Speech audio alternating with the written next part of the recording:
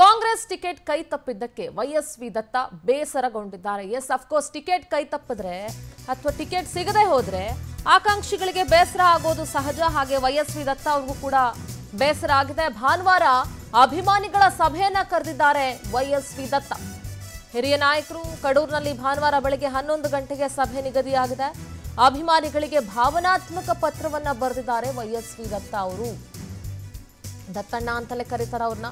ನನ್ನ ಆತ್ಮಗೌರವ, ಸ್ವಾಭಿಮಾನಕ್ಕೆ ಅಪಮಾನ ಆಗಿದೆ. ನನ್ನ ಬಳಿ ಹಣ ಇಲ್ದಿದ್ರು ಅಣ್ಣ ಎಂದು ಕರೆದಿದ್ದೀರಾ? ನನ್ನ ಜೊತೆ ನೀವು, ನಿಮ್ಮ ಜೊತೆ ನಾನಿರಬೇಕು. ಕಡೂರು ಮತದಾರರ ಸ್ವಾಭಿಮಾನಕ್ಕಾಗಿ ಸಭೆ ಕರೆದಿದ್ದಾರೆ ವೈಎಸ್ವಿ ದತ್ತ. ಭಾನುವಾರದ ಸಭೆ ಬಳಿಕ ತಮ್ಮ ಮುಂದಿನ ತೀರ್ಮಾನವನ್ನು ಪ್ರಕಟಿಸ್ತಾರೆ.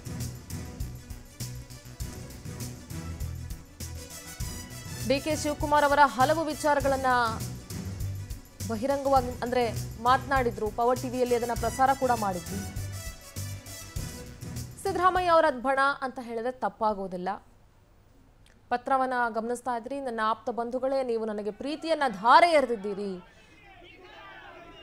ಅಂತ ಹೇಳಿ ಬಹಳ ಭಾವನಾತ್ಮಕವಾಗಿ ತಮ್ಮ ಅಭಿಮಾನಿಗಳಿಗೆ ಪತ್ರವನ್ನ ಬರೆದಿದ್ದಾರೆ. ಭಾನುವಾರ ಬೆಳಗ್ಗೆ ಹನ್ನೊಂದು ಗಂಟೆಗೆ ಸಭೆಯನ್ನ ಕೂಡ ನಿಗದಿ ಮಾಡಿದ್ದಾರೆ.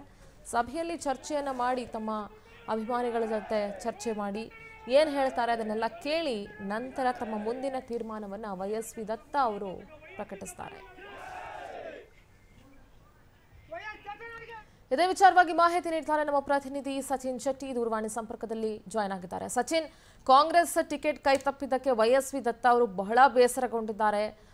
ಆಸೆ ಇಟ್ಕೊಂಡಿದ್ರು ಅಂದ್ರೆ ನಿರೀಕ್ಷೆಗಳು ಇಟ್ಕೊಂಡಿದ್ರು ಟಿಕೆಟ್ ಸಿಕ್ಕೇ ಸಿಗುತ್ತೆ ಅಂತ ಹೇಳಿ ದತ್ತಣ್ಣ ಅಂತ ಪ್ರೀತಿಯಿಂದ ಅವರ ಅಭಿಮಾನಿಗಳು ಕೂಡ ಕರೀತಾರೆ. ಈಗ ಅಭಿಮಾನಿಗಳ ಸಭೆ ಕರೆದಿದ್ದಾರೆ ಭಾನುವಾರ. ಸೊ ಏನು ಹೇಳ್ತೀರಿ? ಏನಿಲ್ಲ, ಹೆಚ್ಚಿನ ಡೀಟೇಲ್ಸ್ ಇದೆ. ಸಭೆ ಬಳಿಕ ಏನು ತೀರ್ಮಾನ ತೆಗೆದುಕೊಳ್ಬಹುದು ವೈಎಸ್ವಿ ದತ್ತ ಅವರು?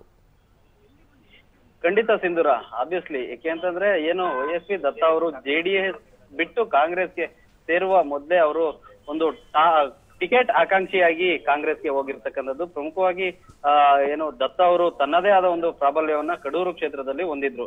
ಹೀಗಾಗಿ ಅವರ ಒಂದು ಮತ ಬ್ಯಾಂಕ್ ಇಲ್ಲ ಕೂಡ ಅಪಾರ ಜನಸಂಖ್ಯೆಯ ಬೆಂಬಲವನ್ನು ಕೂಡ ದತ್ತ ಅವರು ಹೊಂದಿದ್ರು. ಹೀಗಾಗಿ ಅವರು ಟಿಕೆಟ್ ಸಿಗುತ್ತೆ ಅನ್ನೋ ವಿಶ್ವಾಸದಲ್ಲಿ ಕಾಂಗ್ರೆಸ್ಗೆ ಹೋಗಿದ್ರು. ಆದ್ರೆ ಈಗ ಕಾಂಗ್ರೆಸ್ ಎರಡನೇ ಪಟ್ಟಿಯಲ್ಲಿ ಆ, ಈ ಹಿಂದೆ ಸ್ಪರ್ಧೆ ಮಾಡಿದಂತಹ ಕೆ ಎಸ್ ಆನಂದ್ ಅವರಿಗೆ ಮಣೆ ಹಾಕಿರೋ ಹಿನ್ನೆಲೆಯಲ್ಲಿ ದತ್ತ ಅವರಿಗೆ ಒಂದ್ ರೀತಿ ಬೇಜಾರಾಗಿರ್ತಕ್ಕಂಥದ್ದು. ಅಷ್ಟೇ ಅಲ್ಲದೆ ಏನು ತನ್ನ ಕಾರ್ಯಕರ್ತರಿಗೆ ಒಂದ್ ರೀತಿ ಭಾವನಾತ್ಮಕ ಪತ್ರವನ್ನು ಕೂಡ ಬರೆದಿರ್ತಕ್ಕಂಥ ಅಂದ್ರೆ ನೀವೆಲ್ಲರೂ ಕೂಡ ನನ್ನನ್ನ ಪ್ರೀತಿಯಿಂದ ದತ್ತ ಮೇಷ್ಟ್ರು, ದತ್ತ ಅಂತಾನೆ ಕಡೂರು ಕ್ಷೇತ್ರದ ಜನತೆ ನನ್ನನ್ನ ಉಳಿಸಿದ್ರ ನನ್ನ ಹತ್ರ ಹಣ ಇಲ್ಲ ಅಂದ್ರೂ ಕೂಡ ನಿಮ್ ಪ್ರೀತಿನ ಕೊಟ್ಟು ನನ್ನನ್ನ ಗೆಲ್ಸಿದ್ರಿ.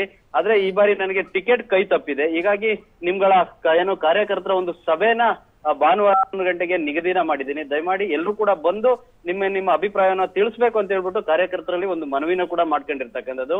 ಇದೆಲ್ಲ ನೋಡ್ತಾ ಇದ್ರೆ ದತ್ತ ಅವರ ಮುಂದಿನ ನಡೆ ಎಲ್ಲ ಒಂದ್ ಕಡೆ ಪಕ್ಷೇತರವಾಗಿ ಸ್ಪರ್ಧೆ ಮಾಡ್ತಾರೋ ಆಮ್ ಆದ್ಮಿ ಪಾರ್ಟಿಯಿಂದ ಸ್ಪರ್ಧೆ ಮಾಡ್ತಾರ ಅನ್ನೋ ಒಂದು ಪ್ರಶ್ನೆ ಕೂಡ ಕಾಡ್ತಿರ್ತಕ್ಕಂಥದ್ದು.